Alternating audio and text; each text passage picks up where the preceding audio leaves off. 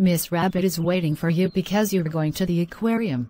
Let's go to the aquarium, you can see loads of sea creatures here, jellyfish, octopus, seahorse, fish, and even penguins. There's also going to be a magic show there.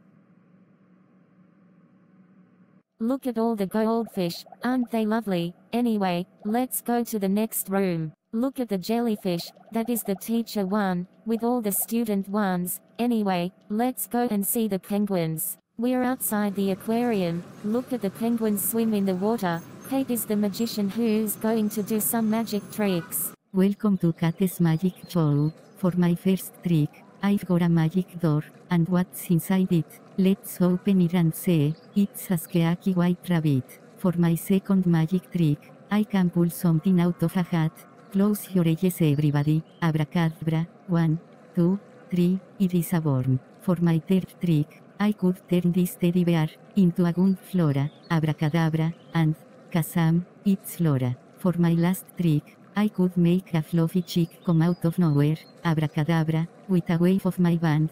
Presto, and Kazam, eres the chick.